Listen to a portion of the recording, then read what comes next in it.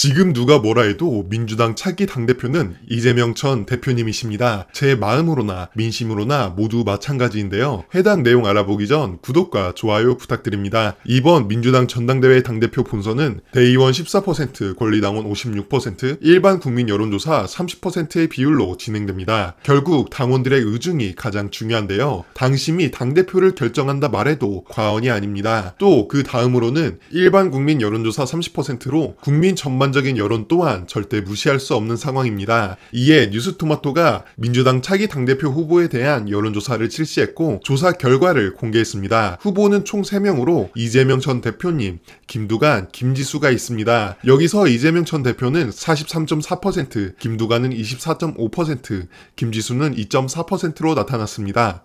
이재명 전 대표와 김두관의 지지율 차이는 약 20%포인트 차이로 사실상 역전이 불가능한 수치입니다. 이어서 진보층과 보수층을 제외한 중도층 민심에서는 이재명 전 대표가 43.4%, 김두관이 24.2%로 나타났습니다. 결국 중도층의 민심과 국민의 전반적인 민심 또한 유사한 것으로 드러났습니다. 하지만 앞서 말씀드렸다시피 이번 전당대회 당대표 본선은 당원들의 의중이 가장 중요합니다. 결국 진보층의 민심 민심과 민주당 지지층의 여론을 중점적으로 살펴봐야 하는데 진보층 민심에서 이재명 전 대표는 67.4%, 김두관은 16.6%로 나타났으며 민주당 지지층에서는 이재명 전 대표가 84.0%, 김두관은 7.0%로 나타났습니다. 또 에이스 리서치가 뉴시스 의뢰로 조사한 결과에서도 민주당 지지층에서 이재명 전 대표가 85.6%, 김두관 후보는 8.0%로 나타났습니다. 전반적인 여론조사의 결과들을 보면 보면 이재명 대표의 연임은 사실상 큰 무리 없이 진행될 것으로 보입니다. 그러면서 오늘 김두관 후보가 CBS에서 진행된 당대표 후보자 방송 토론회에서 현재 민주당이 1극 체제라는 표현에 동의하냐는 질문에 동의한다며 우리 당의 생명이 역동성과 다양성인데 민주당의 DNA가 많이 훼손되고 있는 느낌이라고 생각하는 당원이 꽤 많다 발언했습니다. 이에 이재명 전 대표가 맞받아치며 심금을 울리는 말 남겨주셨는데요. 해당 내용 함께 살펴보시죠. 결국 이게 당원들이 선택한 겁니다. 당원들의 지지율이 80%를 넘는 상황. 그걸 일극 체제라고는 할 수, 체제는 아니죠. 250만 당원이 지금 현재 선택한 겁니다. 민주적으로.